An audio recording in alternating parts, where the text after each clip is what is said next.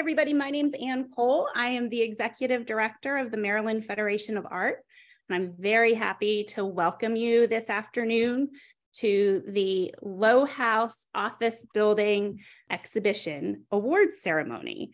Uh, we are very excited each year to be asked to exhibit our members and um, Anne Arundel County residents' work at the Lowe House Office Building while the Maryland legislators are in session.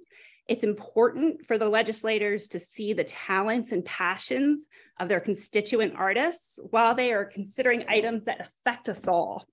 So thank you for participating um, and bringing that awareness to our legislators through your work. Um, when you have a chance, please visit the Lowe House Office building uh, so that you can see the exhibit in person. It is open to the public during normal business hours, Monday through Friday. And all you need to bring is a um, driver's license or passport or other government issued ID to go through security. And then you can walk right into the building and see all of the work. So with that, I am excited to introduce our juror, Laura Pasquini. She is an artist, a museum educator, and a visual arts success coach. She has a bachelor's in arts in art history and theory from the University of Maryland, Baltimore County, and a master's in teaching and certificate in drawing from the Corcoran College of Art and Design at the George Washington University. She's worked at the Corcoran Gallery of Art and the National Gallery of Art and is currently the Visual Arts Program Navigator at Anne Arundel Community College. And with that, I'm so excited, Laura, to pass it over to you. Oh, thank you so much, Anne. And um, thank you to all of the artists for uh, for all of your participation this year. I wanted to go ahead and I'll go ahead and start with reading my juror's statement and then talk a little bit about how uh, I chose the work for this exhibition. So without further ado, it's been an honor to serve as a juror for this year's MFA Lowe House exhibition and review submissions from such a talented pool of artists. I'm incredibly grateful to the MFA for extending exhibition opportunities into vital public spaces such as Lowe House. It's a very impressive building dedicated to our state's evolving legislation, and I encourage everybody to see the work uh, in person there as I did. The call was open to all MFA members and or residents of Anne Arundel County and included 254 submissions with a dazzling array of mediums and subject matter. Uh, as you can imagine, it was a challenge to narrow my selections down to the 45 works on view. So I let my instincts regarding style, composition, content, and innovation guide my process. I also considered works that engage the viewer in concept and technical merit, with representation from a variety of mediums. So uh, I, that said, I sort of let the technical uh, aspect of the work speak for themselves and, um, and the command for each medium. And then from there, it was a very difficult, it gets a little subjective, but I tried to pay attention to some of the main ideas that MFA abides by, which are to look at the communal ap- application or universal application of the works of art, meaning how they communicate a message. Also, the sticking power? Uh, do I walk away from this piece asking questions? Am I uh, is it is it engaging in some kind of dialogue? I know at the college we like to talk about art uh, having a life beyond the wall, meaning what do you walk away thinking about and talking about? And so, with that in mind, I tried to narrow my selection down, but it really was not easy.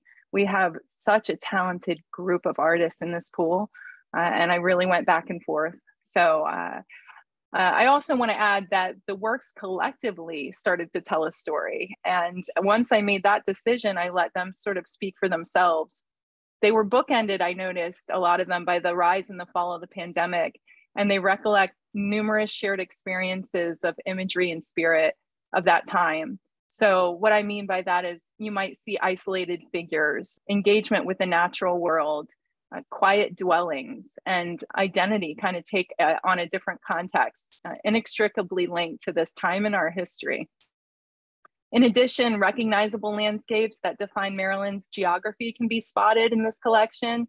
You'll see the Anacostia River, suggestions of the Eastern Shore, and even the Chesapeake Bay. And last but not least, I saw yellow as a star across so many mediums. I'm not sure where that came from, but it just was sort of a collective symbol of joy or renewal to me. So please enjoy as I did visiting this stunning display in person, bringing friends and family. Uh, they do have public hours, and I want to extend my sincere gratitude to Laura Carty and uh, the exhibitions manager and Ann Cole, executive director, and all the artists in this show for sharing their unique vision and their gift with us. That said, we can go ahead and get started with some of the awardees. And is Nancy on the call? This first one is Nancy, oh, Nancy Fine, the seafood packing house left vacant. Nancy is on the call. Oh, good. So I will, I will ask her some questions. But yeah, I mean, this one, I think that it goes along with some of the things I said in my juror's statement. I mean, this period of time, and I, of course, I don't know the date when all of these works are made, and I can't say they were all made during the pandemic, but just this quiet, sort of still abandoned building. And there's a lot of, I think, a little bit of mystery there. How was it left this way? And will it remain abandoned? And it also has this just quiet beauty about it. This, this space that's been left desolate but has little touches when you see this in, in person there's so many little tiny touches of color especially in that i think it's scaffolding on the left side of this I, I wanted to ask if she painted this work on site and if there was a history to this building or something specific that drew her to this was it the very fact that it was abandoned for example yes i like abandoned buildings i i like buildings that show character I like buildings that have a tactile sense um, to them. I I particularly like this building because I come from a family of fishermen. My mother's mm-hmm. family were fishermen. So um, I'm attracted to these older buildings um, on the Eastern Shore. This one I painted with a friend, and it was plein air, and it was alla prima plein air for the Paint Worcester County plein air event. And uh, it hung in the Berlin Library there for about a month.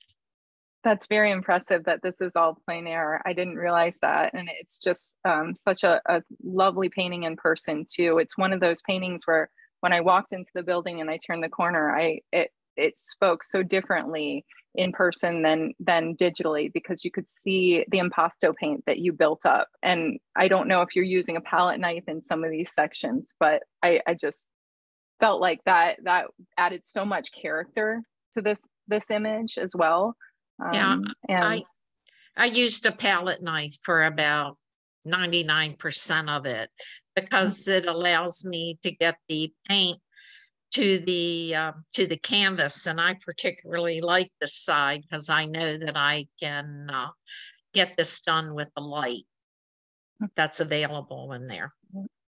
Well thank you so much. And thank you.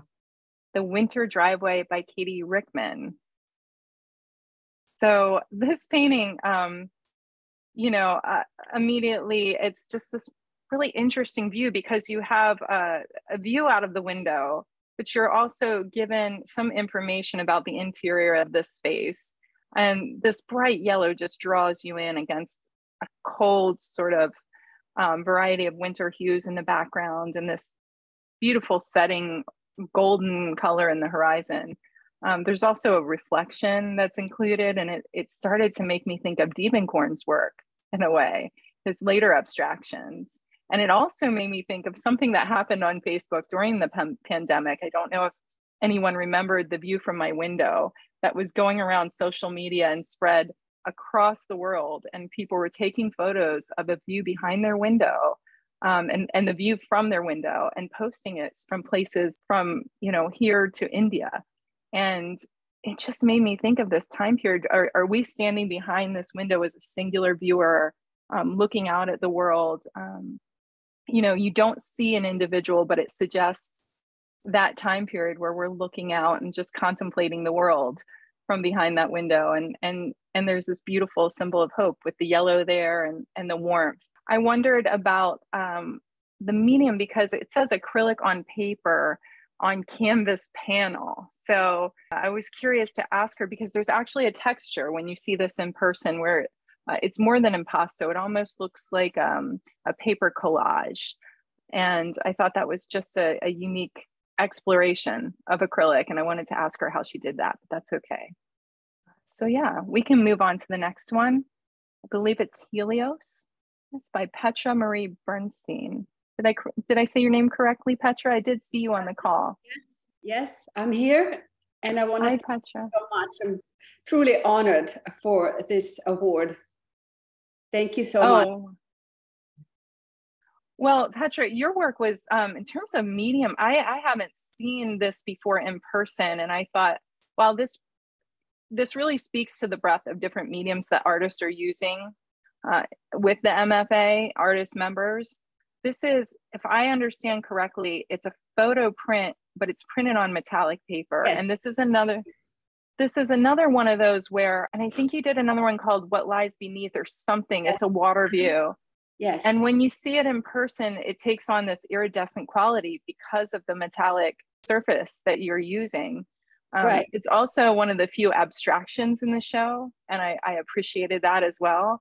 And uh, the the colors just uh, they very they pop out. They almost vibrate. I would say against each other when you're looking at at this in person. I wanted to know a little bit about the title is Helios, and I was curious about that. It means sun or sun god. right. Um, can you tell us how you came about? First of all, can you tell us a little bit about your process, how you made this, and how you print it? So I wasn't, this is a very abstract piece for me. I do mostly botanicals, botanical photography. I'm really a painter, but I also do photography and I love photography. In the summertime, I had a solo show in Washington at the Washington Printmakers Gallery. And it was all things that have to do with the Eastern Shore flowers from my yard, water reflections, um, marshmallows, close ups, and a lot of double exposure. So when I took this photograph, it was in the summer, very hot outside in my yard. And it's a photograph of a black eyed Susan. And I was going for a double exposure effect where I overlay just slightly. And then you get this iridescent feeling, except I came up with this. I uploaded it, and the double exposures didn't look great. They were kind of boring. And then I started playing with it because the brightness of the yellow really, I thought was so beautiful. And I just played with it on the computer on a Photoshop. And I um, enhanced the colors and um, I made it somewhat iridescent, see through. And when I saw that, I just fell in love with the colors and I left it alone. And if I had to go back and redo the whole process, I'm not sure I remember all the steps. Mhm. Um, but it's one of my favorite pieces because of the way the two colors play with each other. And then you have all this fine detail, like you're looking through the petals of this flower. And um, to me, I think about how I was outside taking pictures of something really different than what I came up with. And I feel like sometimes you got to go with just your in, intuition, your instinct, and um, let go of what you wanted to do. Um, the metallic paper, I don't use that much. But for this one, I thought it works great because it brings out the shine and it reminds you of a sun. That's how I came up with the title. Helios in Greek mythology, it stands for uh, the god of the sun. And to me, that's what I immediately see a sun, a bright sun, happy. So that's where the title came from, Helios. I hope I answered your question. You did. And, you know, it's funny you say that because you can't help but smile when you walk by this piece. It's just engaging and it has this surface that pulls you in. And it's, um, I know the show is all two dimensional work, but it has this three dimensionality to it that is often hard to achieve. I think in some some forms of photography, some forms of print, and um, you you achieve that here somehow through the the color and the um, material. So yeah, thank you very much. And then uh, we can go to I believe the next person. Yep, mixed messages, great. And Marilyn Lowney Johnson. If I mispronounce any of these, please let me know. Uh, So I don't know if Marilyn is here on the call with us, but I just, you know, I'm very drawn to this photograph for a few reasons. And it goes back to my juror's statement as, you know, I would look at it and come back to it and look at it. And it, it just stuck with me for a few reasons. Um, one is you're, you're standing here in sort of the first person view and there's some solitary figures in front of you. Um, I don't know if we're we're on the High Line here in New York, or might be some recognizable Im- imagery to some, but we are on some type of a bridge. And on the left hand side, you have a sign about suicide prevention, and right under it, no alcoholic beverages permitted on the walkway. And immediately your eye goes up to the next sign, which is about a casino and New Year's Eve sweepstakes and gambling. And you're you're back at this first person perspective, wondering very much what the title says mixed messages. Uh, you're wondering where to go with that. And it did make me reflect again on, on a time period where mental health became uh, so prominent in our society and um, issues of mental health and coping strategies uh, during a, a, really difficult time. I think not just the pandemic, but some of the social politics coming out of that period in the last three years, um, some of the isolation.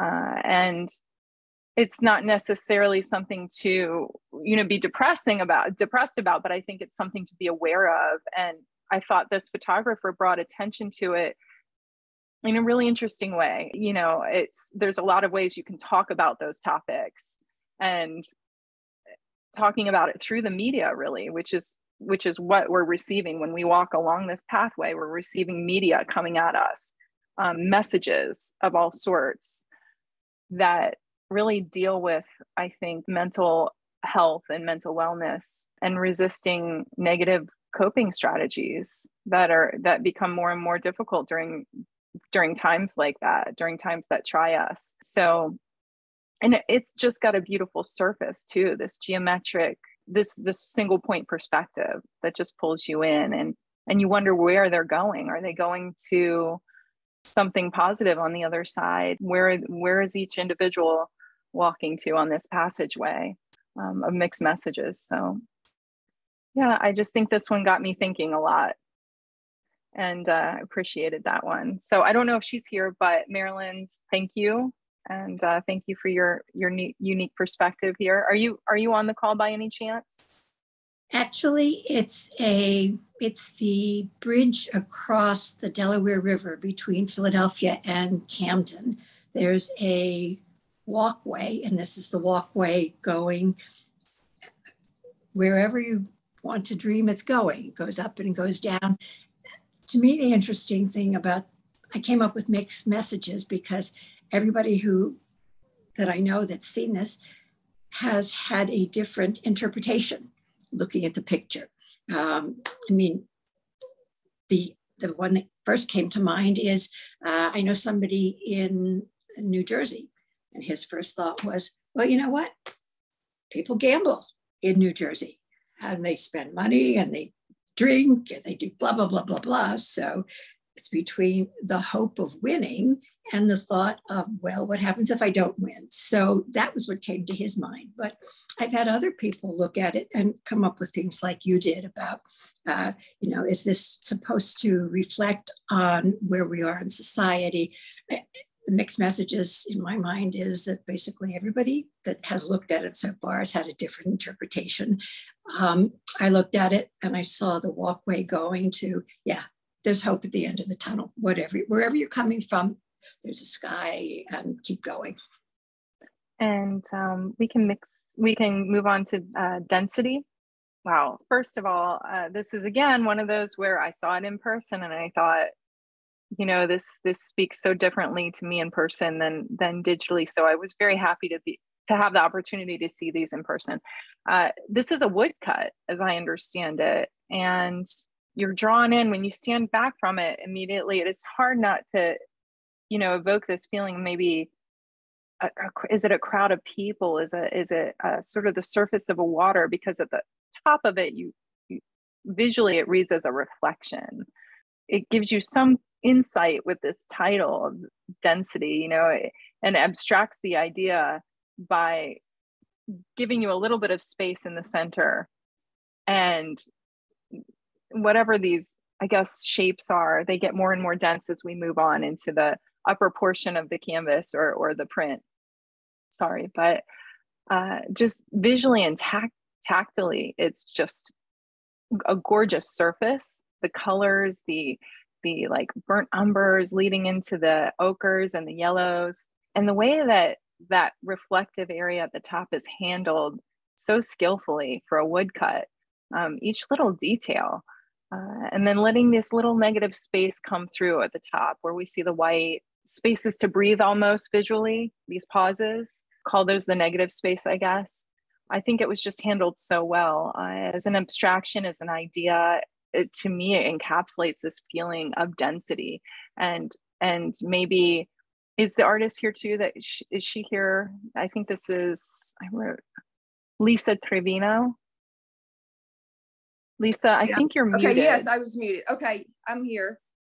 Oh um well i would love to hear you speak a little bit about this and then i can come back to some of the ideas i had when i saw it but could you say a little bit about maybe your point of departure? Because a lot of times with abstraction and artists is um, like petra said her point of departure was that black-eyed susan. So i'm wondering did you have a point of departure in the natural world for this or was it an idea that you wanted to uh, capture no it was a uh, can you hear me because i can't see it didn't i guess my video is not on i don't know your video anyway on. okay um no, it was a photo actually of a watery area and it was all um, water lilies. So it was just covered with water lilies, this little pond. So that is the inspiration. To me, the interesting thing is that all the marks are made with a screw and a hammer. So uh, like at the top where the uh, little bitty marks, it's like I laid the screw on the wood and then hit it with the hammer to make those little marks. And then the bigger marks are um, just just a hammer, just hitting the wood with the hammer to make the dent in the wood.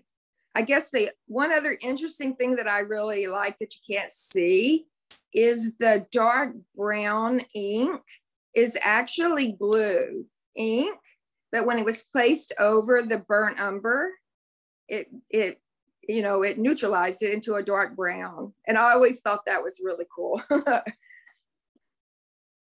I I think that dark brown actually brings out it th- that darker area and the tone of it, the warmth of it brings out the rest you know, and it allows the rest to sing a little bit more. What made you, because usually water scenes, you've got your cooler hues. What made you decide to go with these warmer tones? Uh, honestly, because I didn't want it to look like the water lilies. Hmm. So I didn't want that green, you know, and blue. I didn't want those colors in. So I just tried to go the opposite way. It's it's a great choice because it just I think it leaves it so much more open to interpretation. Um, but you give enough hint with the title and, and with this reflective area at the top um, can I ask one more time, uh, one more question? When you when you laid the ink just on the surface, and I'm curious, how many passes did you have to make to get your final? There is um, uh, one, two. I think there are four or four. I think. Mm-hmm. So the um, yeah, I believe there's four four passes. Hmm. Yeah it's great and and also another thing about this work uh, it's something your mind or at least my mind goes to making it smaller um, but in person and as the size says here on our screen 24 by 20 inches so it's a little bit larger than you would expect and you can, can very much uh, enter it that way visually and, and appreciate the layers that you created so thank you yeah. Thank you. It's it's also something that I think went back to that time period, and I'm going to say it again: is that we felt this feeling of density and and uh, I think crowded areas in a way, and we were much more aware of crowds in the last three years than we ever had been before. And um, how do you talk about that? And I think that this talks about this idea of whether it's positive or negative, it really encapsulates the idea of density um, in an abstract manner so successfully and I, i'm glad that you didn't use the cool blues because my mind would only associate that with water whereas right. this is is a different association and unexpected so thank you. thank you thank you all right so we're we're moving on to our jurors choice uh our our top five and uh, i'm starting with elizabeth Buren bridge walk okay so I, if i remember correctly there's only a couple of watercolors in this show, and this is one of them. So pretty impressive watercolor, especially when you consider these the railing and the angle, the colors, and the luminosity of basically what we're looking at is all in shadow. We're looking at these colors are all entirely in shadow. And once again, you're seeing this imagery, which which I saw come out of this work, uh, this imagery of going through a tunnel, going over a bridge, um, going from one destination to another destination with these sort of single solitary figures that just, and it just pulls you in this one, pers- one point perspective. Uh, you can't really see where they're going. You don't have that information. Most of the focus is on where they are in the present and walking over, walking through this space. I think you can make out maybe one or two figures together in the in the center and when you think of a bridge, you think of something that connects two places or two points in time to, to each other. And so, just as a symbol, this was, I think, an interesting subject to approach and and to choose. I've actually walked on this bridge. I believe it's in Richmond. I'm not positive, but you know, you are left wondering where you are and and what awaits you on the other side, kind of like that the photograph, mixed messages. I think this could be the pedestrian footbridge that goes to Bell Island. I'm not quite positive, but in any case, it's you know abstract enough and in, in the landscape behind it that you don't really know where you are. It does feel very hopeful, like because there's on the other side you can just make out enough light at that horizon um, on on the land where the, where they're walking over to, and um, I just yeah, I I this is a very joyful one really when you look at the colors too. I I think it's unexpected to see that many colors in the shadow and be able to masterfully relay that in watercolor. Uh, so I thought she did a beautiful job of this, especially if you look at the column on the um, in the foreground and, and the light hitting it, the colors, and they're working together quite well. You've got some i think maybe it's because of the complements the lavenders and the yellows they just there's a lot of color but somehow it's harmonious still and your eyes can rest in these silver tones silver white tones in the back that serve as a little bit of a negative space or a pause for the eye but yeah i i wanted to just congratulate her on an incredible watercolor and really un- unique perspective and composition then mike mcsorley when I was walking around the corner and, and looking at this installation, this one just, ooh, it stood out. It, it's first of all a lot larger than I expected. The way the paint communicates in person and the, and the colors, yeah, you really feel like you were standing at dusk right here in this spot. You feel the coolness and the shadow of it, and that that light in the window. It it reads like a Hopper painting. I mean, I can't help but feel there's actually a painting that it reminds me of. It's called Second Story Sunlight. And it's a painting that's dominant, cool hues everywhere except that one second story light. And there's there's like a similar sunlight or really golden. I don't know if you've I think we've all seen sunlight like like that when the sun sets and you just see that golden reflection. And this window in person uh, reflects light like that. Really, really masterful job of that. I was curious from Mike, what made you decide on this perspective? Because when I went through the show, initially I was thinking, you know, you could have chosen any perspective. You could have chosen the facade with light on it, which a lot of artists will do and do very well. But what made you do this? And, and were you standing there on site as this sala prima? Is there a significance to this building for you? And is there a connection with Hopper? Because he also had that ability to capture a period in American history of this sort of quiet solitude, this feeling of individualism in America, and and and just a, again that quietness that that maybe we all felt in the last few years. Can you tell us a little bit more about some of those? Yeah, this was questions? based on a, uh, a plein air pay, piece, but the, um, when the pandemic hit, I started. You know, I did about three versions of this based on the photographs and the memory of the uh, original piece. I was up in Cape Cod for the first time, and the landscape did just hit me it just looked so familiar because of, as you said, the hoppers, the light and everything. The light was just gorgeous up there. And uh, I did this in the morning before we left and uh, took some photos. Like I said, this is the third version. Because of the perspective, is that's the way I could get the light to hit the, the house with the, the, the shadow facing me. So yeah, I mean the hopper, I was definitely thinking of him when I did this piece. And there's a lot more to that building. It's very long.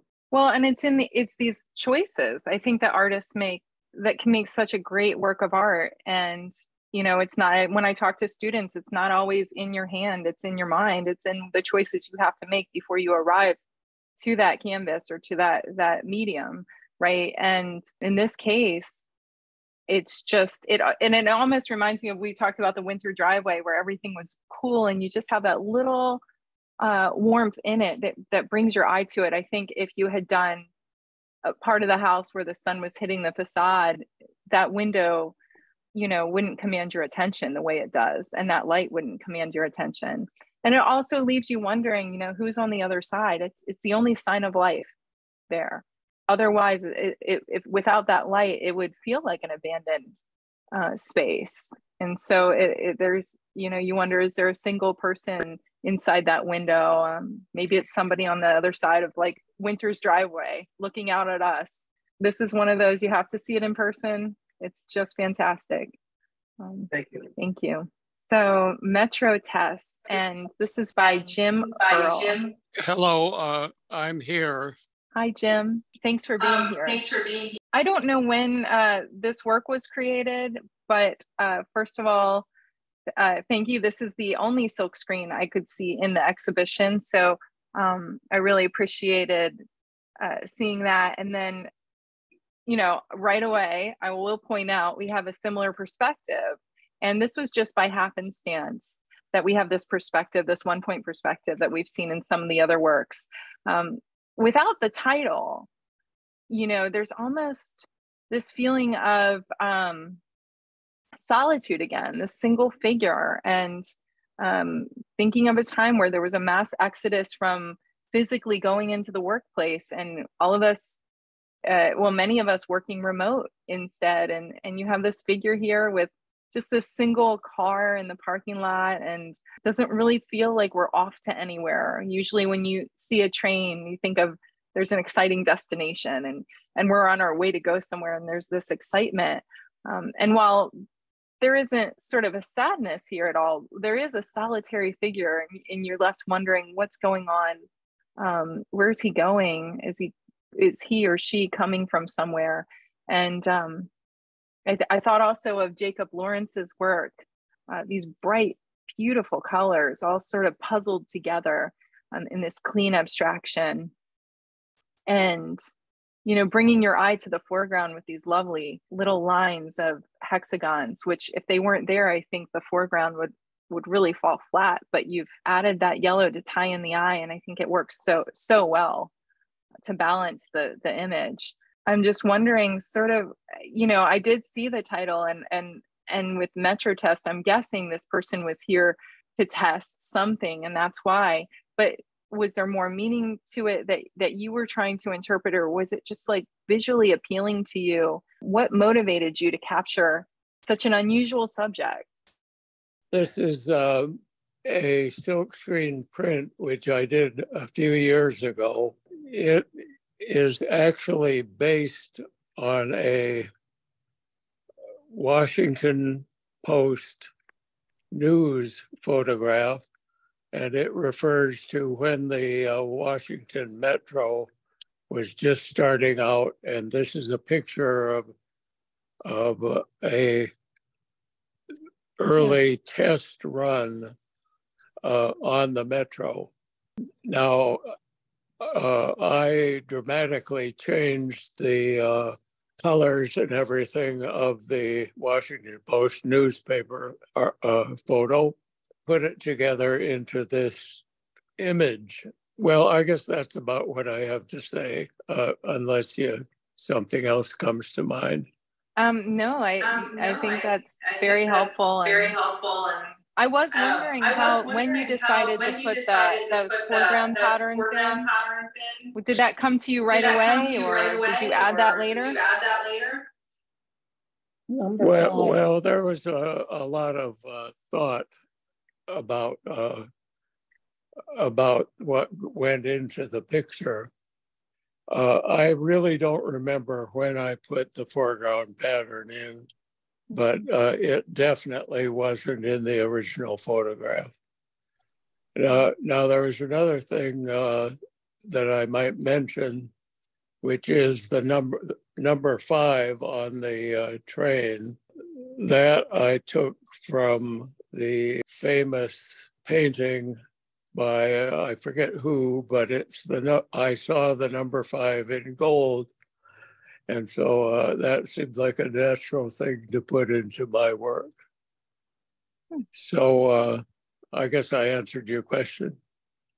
In a way, it's like your signature. We know it's by you. It's the number five when we see it in your work. Well, uh, I have several other uh, works that have the number five, and it all comes from that. Uh, Was it Robert Indiana? No. Uh, Demuth? Yeah, it was Demuth. All right. Well, thank you so much, thank Jim. you so much, Jim. Thank you. I've enjoyed your uh, presentation.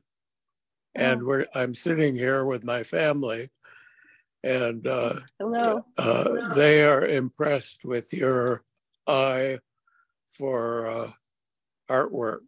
Tell them thank you for being thank here. Thank you for being here. Well, I'm glad to be here. Okay, so we can go ahead and Marisa Evangelista. We were caught in a storm or something of that sort, acrylic on clayboard. Marissa, I saw you here earlier. I hope you're still here. I'm going to say a few things. Oh, good. I see you now. I do have some questions for you with this one. I spent a good, good amount of time looking at this um, when I went into the show. And I thought, wow, you know, I know, I know you use yourself. I do know you use yourself in some of these paintings as a self um, portrait or the subject. Um, in this one, I was struck by this idea of, you know, when I when I do read the title, it just makes me think there's some there's something that happened before and after this moment, almost like a film still. Like I'm walking into a film still, and I'm wondering what happened before, and I, I'm I'm definitely wondering what happens afterwards but I also think about that tunnel and that bridge because that's also this sort of moment in time where we're walking from one point to another and we and and it's the in between that you've captured here. So what I mean by that is obviously you could interpret this as a figure who got caught in a rainstorm and had to wear a rain jacket. But with the title being we, it just it makes me wonder what was the storm symbolically? What did it what does it symbolize? And you don't have to answer that obviously if you want to you can but it, it also i was talking about this painting with someone and it's talking about how we try to cover ourselves when we're in the storm with these these little things like a thin umbrella or an or a raincoat. But no matter what if you're in that storm you're in that storm. There's really nothing you can do about it. Um, it's nature is something much bigger than us and these these events in nature uh, whether it's covid or whether it's a storm or even if it's not nature maybe it's a, a human relationship or something like that but where, where some things are really out of our control and yet we try to protect ourselves with something like this raincoat which by the way is this really happy color against again these cool you know, cool colors that are receding into the background. So I am curious, you know, and, and again, you don't have to talk completely about everything that inspired you, but if you could give us a little insight into this storm or, or what you were thinking when you decided to depict yourself in this way. Yeah, um, I'm glad that you felt like it was per um a moment captured, like in a movie still or something, because that's exactly what I was trying to go for. So I made this when during the time that I was in MICA actually, and we were forced to go home because of the pandemic. I think this was after the end of my first COVID semester. And, you know, in that summer, I'm not a morning person. My family who's with here supporting me knows I'm not a morning person. So I just woke up at 5 a.m. one day, one summer, and I just had this such a strong urge to just paint this feeling like almost like we're all going through it. We're all going through COVID. We all have to deal with whatever ramifications will come out of it. But we also kind of got to take a moment and reflect on what we have gone through and what we will continue to go through and how we can heal. And sometimes thinking about how I had to come home and continue making art at home was really weird.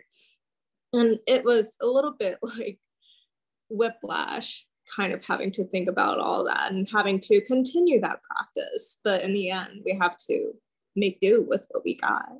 And of course, anyone can interpret that feeling however they want, because it's something like a storm. It feels like we all went through this storm, but um, there's no rain in this, but you can see the water coming down from her forehead through her neck, kind of like this emotional storm we went through. Well, that's, you know, that's really beautifully said and it reminds me of um i don't know if anybody on the call today knew uh, jerry valerio but um he was a friend of mine he passed away uh, not of covid but during the time and when i went to his uh, memory of life or celebration of life um, one of the speakers talked about how jerry said that more important than than ever artists need to create during times like these because their work has such a profound effect on other people. And even if we don't feel like creating or um, giving of ourselves in that way, he said, you know, it, it's more important than ever. And I, I know he had been through some personal trauma in his life, and that's when he went back to creating um, and and left the workforce and started working full time as a professional artist.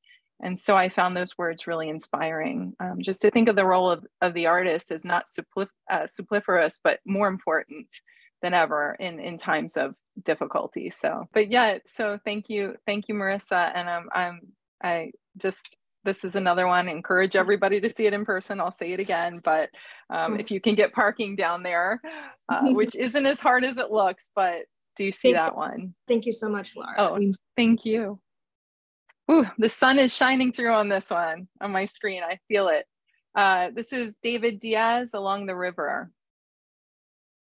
Sm uh, small, little, uh, just lovely still life. Um, but more than that, you know, and I, I will be asking David if he's on the call a few questions. I think of this one, I just, first of all, when you stand back from it, it looks like literally painted sunlight just yeah it's one of those paintings where if you zoomed in it would look completely abstract.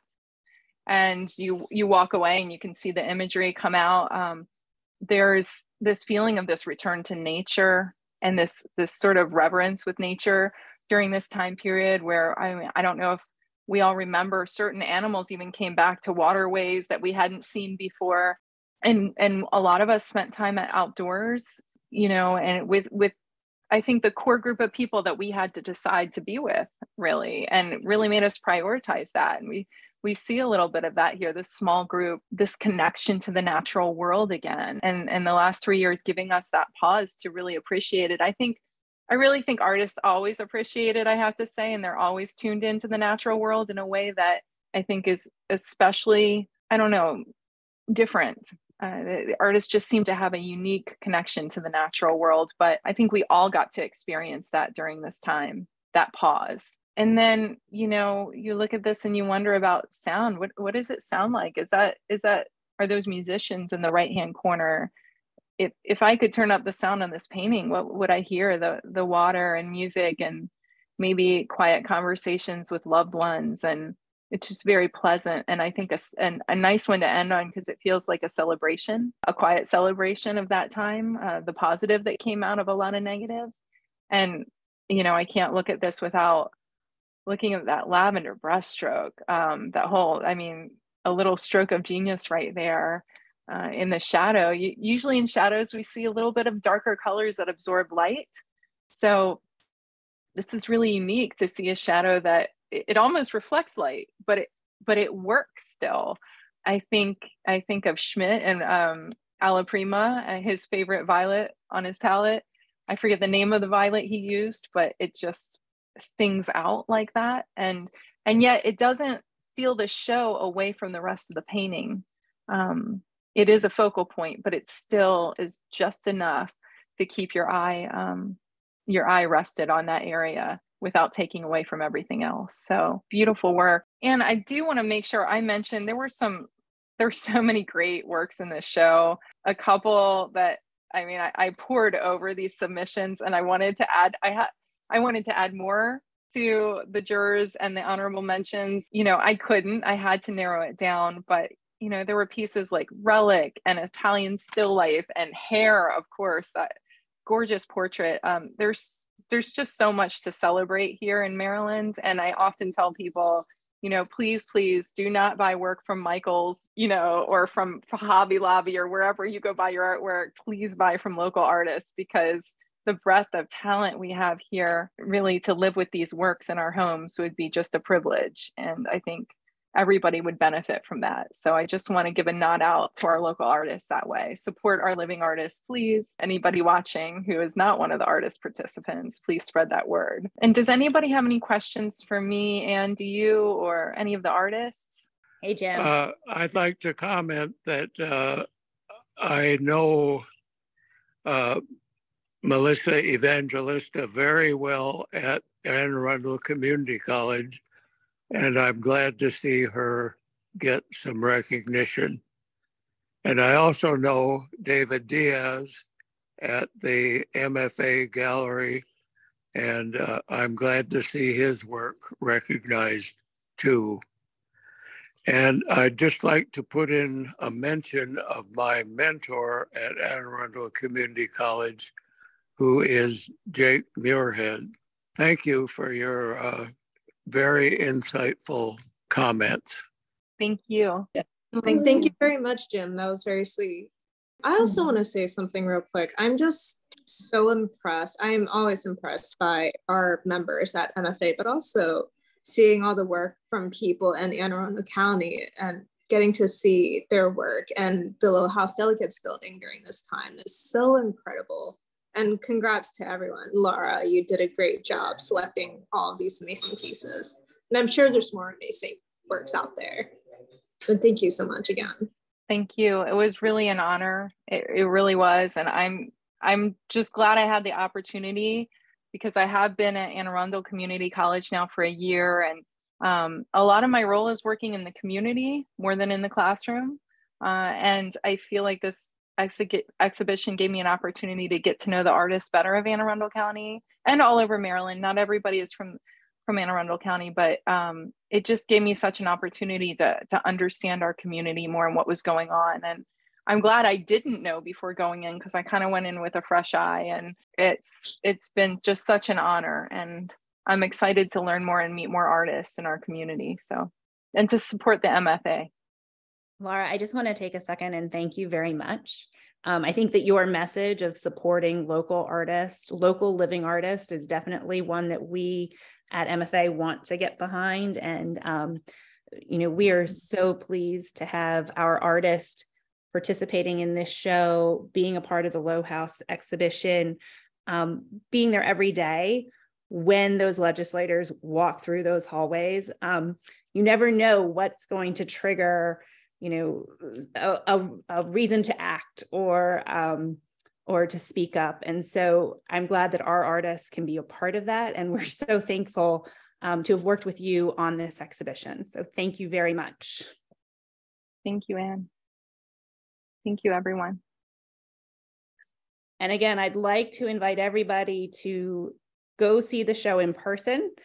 Um, if you are going downtown you would park in the same place uh, the Gotts garage that you would park if you were coming to Circle Gallery. And again, it is open to the public. So don't let the fact that it's in an office building uh, dissuade you from going to see the exhibition. It's open to the public. Just bring your driver's license or a passport or some kind of government issued ID um, and, and walk on in uh, to, see, to see the work and invite your friends as well.